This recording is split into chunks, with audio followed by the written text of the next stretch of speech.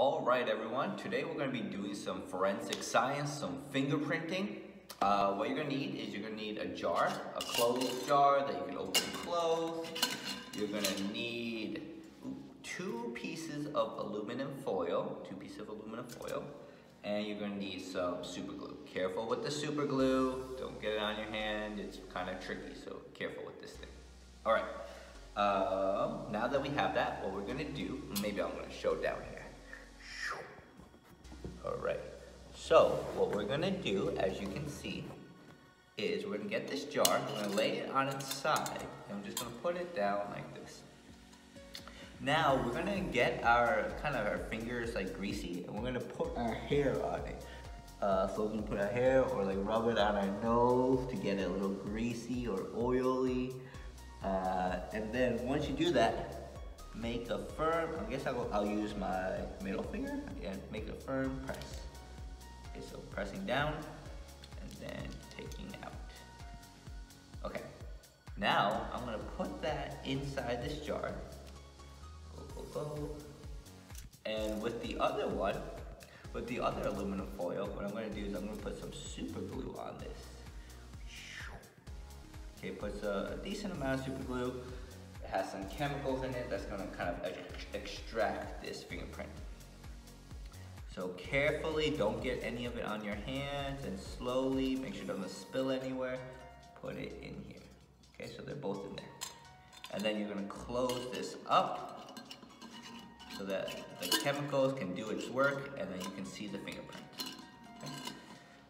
After you do this, you're gonna wait around 30 minutes until you can see the fingerprint. So let's just put that aside for now and wait 30 minutes.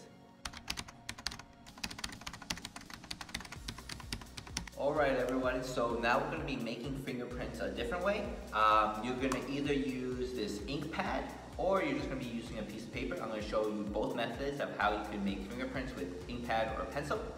You're also gonna want like a sheet of paper that like label things pinky, ring, middle, index, and thumb, okay? So you're gonna have this piece of paper, label it, and we're gonna start making some fingerprints. All right, so I'm gonna show you both methods. All right, let me look down here. All right, so first, oh, you're also gonna need tape. First, we're gonna use the ink pad method, which is, you know, pretty simple. Last time I used my middle finger, so maybe this time I'll use my ring finger. So you just press it down onto the pad. And then when you have a good press, you just kind of press it onto the paper. And I'm gonna put it where it says ring. Okay, and now I have uh, so my ring finger right there. Okay, and you're gonna wanna do this for all of it using uh, the ink pad just to have an index of how your fingers work. The next method, you're gonna get a piece of paper uh, so do the ink pad for all of them, but I'm going to show the other method. And what you're going to do is you're going to kind of use this pencil, and this is going to kind of be the ink pad. So you're going to kind of uh, just go back and forth, rub it like this, make sure it's kind of dark. Maybe this time I'll use the pinky. And then what you're to do is you're to press your pinky into this. So I'm to press my pinky, get a good press. Make sure not to move it too much side to side, but get a good press. And then it's kind of hard to see, but you're gonna have probably someone help you, but you're gonna get a piece of tape. Oops.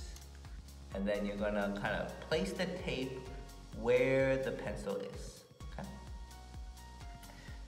Then once you do that, you're gonna take it off carefully. If you need to do it again, do it again. And I'm gonna put it where it says pinky. I'm gonna put it at the bottom.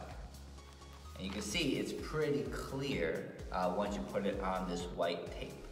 And then you're gonna wanna do that for all of them using the pen pencil method, making all of them with both this, the ink pad, and with the pencil. All right, good luck.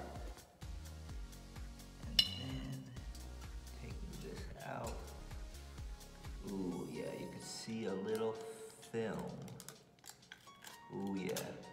It's a little probably gonna be hard to see. Ooh, this, this is also a little bit sticky, but you can see, well, I'm not sure if you can see, but you should be able to see some sort of a fingerprint there.